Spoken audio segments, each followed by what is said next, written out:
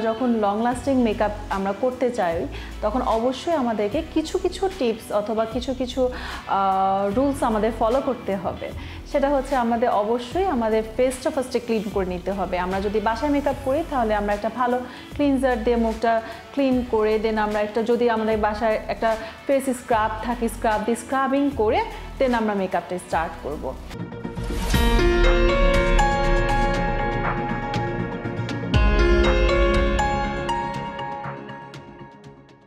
আর মেকআপটা স্টার্ট করার আগে আমরা অবশ্যই আমাদের স্কিন প্রিপারেশানটা করব। তো স্কিন প্রিপারেশানটা আমরা কীভাবে করব? আমরা একটা ভালো একটা মিস্ট ইউজ করব। আমরা যদি আমাদের কাছে একটা সেরাম থাকে, আমরা স্কিনে সেরাম ইউজ করব। দেন আমরা একটা ভালো ময়শ্চারাইজার ক্রিম অ্যাপ্লাই করব। আর ময়শ্চারাইজার ক্রিমটা যখন আমরা অ্যাপ্লাই করব, তখন আমাদের মাথায় রাখতে হবে এটা অয়েলি স্কিনের জন্য নাকি এটা ড্রাই স্কিনের জন্য। এক একটা স্কিনের জন্য কিন্তু ময়শ্চারাইজার এক একটা হয়ে থাকে। ড্রাই স্কিনের জন্য এক ধরনের ময়শ্চারাইজার দেন হচ্ছে অয়েল স্কিনের জন্য এক ধরনের ময়শ্চারাইজার। সো ওইটা মাথায় রেখে আমরা ময়শ্চারাইজার ক্রিমটা অ্যাপ্লাই করব। আর আমরা যখন ফাউন্ডেশনটা অ্যাপ্লাই করব, তার আগে আমরা কিছুক্ষণ ওয়েট করে নেব ময়শ্চারাইজার অ্যাপ্লাই করার পরে। লাইক আমরা টু থ্রি মিনিটস ওয়েট করব যাতে ময়শ্চারাইজারটা আমাদের স্কিনকে অবজার্ভ করে নেয় খুব ভালো মতো। দেন আমরা আমাদের মেইন মেকআপ যেটা, ওটা স্টার্ট করব। আর আমরা অবশ্যই খেয়াল রাখব, আমরা যেন একটা ভালো প্রাইমার ইউজ করি। প্রাইমার কিন্তু আমাদের লং লাস্টিং মেকআপের জন্য সবচেয়ে জরুরি একটা জিনিস। কখন মেকআপটা নষ্ট হয়ে যায়, আমরা বলি না যে আমরা মেকআপ করে বের হলাম ঠিকঠাক মতোই তো, কিন্তু এটা নষ্ট হয়ে গেল। প্রাইমারে কিন্তু উল্টাপাল্টা হলে আমাদের মেকআপটা নষ্ট হয়ে যায়। সো আমরা স্কিন টাইপ অনুযায়ী প্রাইমারটা অ্যাপ্লাই করব।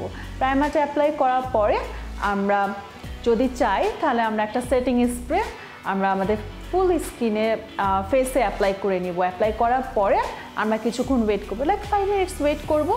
স্কিনে যখন ভালো মতো আমাদের সেটিং স্প্রেটা অবজার্ভ হয়ে যাবে, তারপরে আমরা মেইন মেকআপে আসব দ্যাট ইজ আমাদের হচ্ছে কালার কারেক্টার আমাদের স্কিনে সবার কিন্তু কালার কারেক্টার প্রয়োজন হয় না। অনেকে আছে যাদের স্কিন আনইভেন না ইভেন সো আনইভেন টোন যদি থাকে, তখনই আমরা কালার কারেক্টারটা ইউজ করব। তো আমাদের যেসব এরিয়া লাইক যদি আমাদের ডার্ক সার্কেল থাকে অথবা পিগমেন্টেশন থাকে, সেসব এরিয়া আমরা কালার কারেক্টারটা অ্যাপ্লাই করার পরে ফাউন্ডেশনটা অ্যাপ্লাই করব।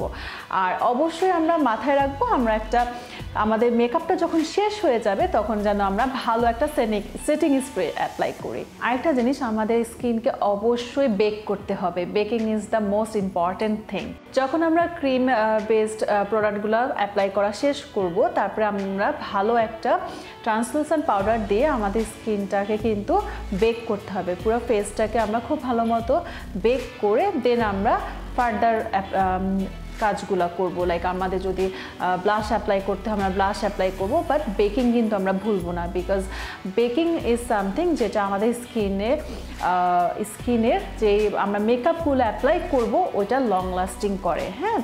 সো বেকিংয়ের জিনিসটা আমরা একদমই মাইনাস করব না। বেকিং আর সেটিং স্প্রে হচ্ছে মেইন জিনিস আমাদের মেকআপটাকে লং লাস্টিং করার জন্য।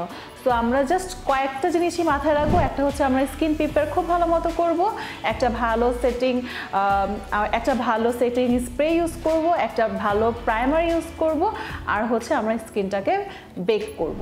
সো এই চারটা জিনিস আমরা যদি মাথায় রাখি, আমাদের মেকআপটা লং লাস্টিং হবে।